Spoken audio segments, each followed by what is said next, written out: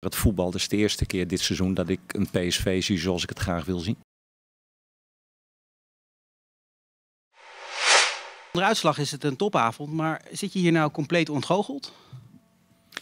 Nee, ik zit niet compleet ontgoocheld, maar wel teleurgesteld in het resultaat. Ik heb een goed PSV gezien. Als je, zoals ik de hele wedstrijd heb gezien, had er veel en veel meer in gezeten. Dus dat je die wedstrijd wint. Dat het niet gebeurd is dan teleurstellend.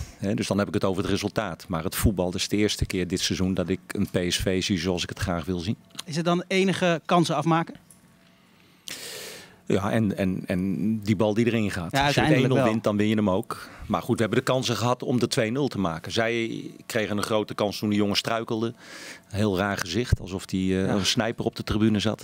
Hij gleed uit uiteindelijk. Oh, hij gleed uit. En, ehm, maar goed, wij, wij hebben wel behoorlijke kansen gehad om, om de tweede al te maken. Ja, dan zie je dat dat, dat, dat gelogen straf wordt. Ja, dat is een aloude voetbalwet. Hè? Als je hem zelf niet maakt, dan eh, er komt er een moment dat je, dat je op twee gedachten hinkt. Dat je denkt van, van moeten we voor die tweede blijven gaan? Nee. Of altijd voor die tweede gaan. Ik denk als wij tegen deze ploeg, hè, dit sporting, als wij achteruit gaan lopen en met z'n allen voor de 16, dan hebben ze zoveel kwaliteit. Omdat wij denk ik geweldig druk zetten vandaag, is dat er niet helemaal, heb je dat niet helemaal kunnen zien. Maar deze jongens zijn gewend in hun competitie ook tegen muren te spelen. Dan vinden ze altijd de ruimte, de openingen. Omdat ze zoveel lopers hebben en zoveel individuele kwaliteit, zoveel technische vaardigheid. Dat als je dat gaat doen, dan breng je ze in hun kracht. En dan, dan is het wachten op, op dat doelpunt. Peter, wat is nou zo'n ge- gevoel in de kleedkamer bij die jongens en bij jou na, na zo'n wedstrijd? Ik kan me voorstellen dat de ene, eh, dat, je, dat er een soort van het gevoel is van, oh, we hebben goed gespeeld. De ander vreselijk baalt. Hoe is die mix? Nee, bij de jongens was dat echt balen. In de kleedkamer was het stil, teleurgesteld.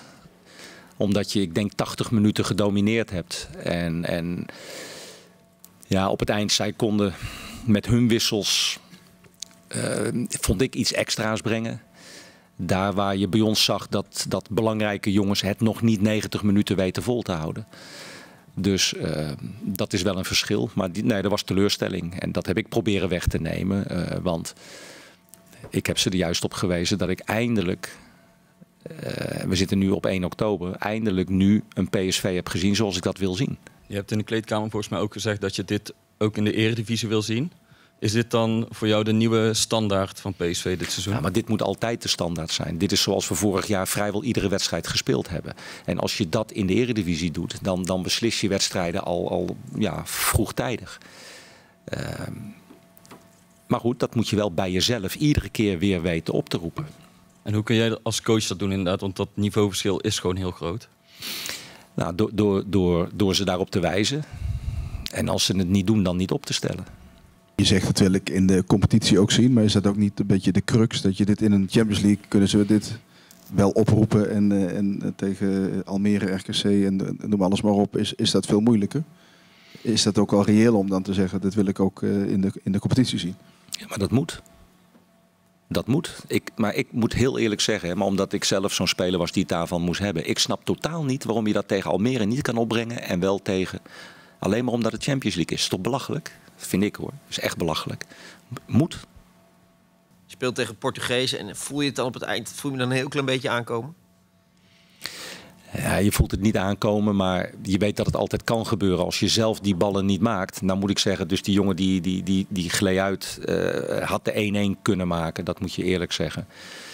Maar goed, eh, vlak voor de gelijkmaker moet Johan natuurlijk de 2-0 maken. En, maar goed, als je dat niet doet, dan weet je dat die kans er altijd in zit.